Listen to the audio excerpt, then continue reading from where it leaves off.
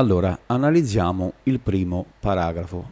Player aggiunta la possibilità di attribuire ai file audio la trasposizione prima della partenza. Cosa vuol dire?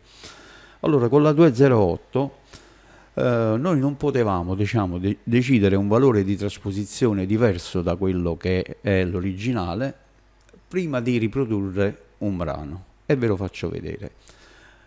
Qua io ho questi due file, Amarillo MP3 e Amarillo Web. Che cosa faccio? Uh, se vedete a fianco al tempo 120 in alto, io aziono diciamo un valore di trasfuse più 2, 1 e 2.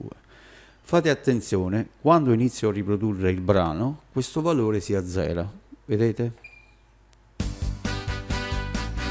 Quindi praticamente questo valore che io ho selezionato prima della partenza mi viene annullato. Adesso vado sul wave, scendo meno 2, parto. Quindi l'unico mezzo è questo qua, iniziare e poi aumentare la tonalità, il che significa insomma alquanto difficoltoso e noioso.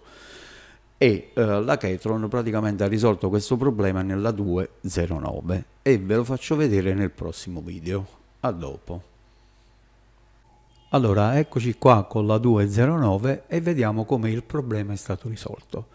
Allora, io seleziono il brano e prima di partire applico il valore di transposer che voglio avere. In questo caso io metto più 1, quindi vuol dire che la base aumenterà di mezzo tono. Come potete vedere il valore rimane a più 1 e la base sale di mezzo tono. Vediamo.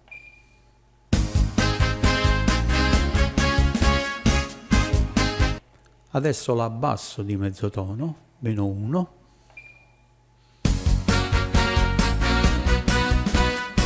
Quindi prima di partire, prima di iniziare, io posso decidere il mio valore di transposer, come pure per il file WAV. Vediamo, metto più 1,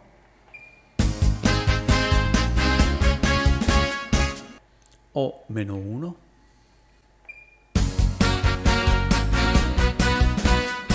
ok? Problema risolto.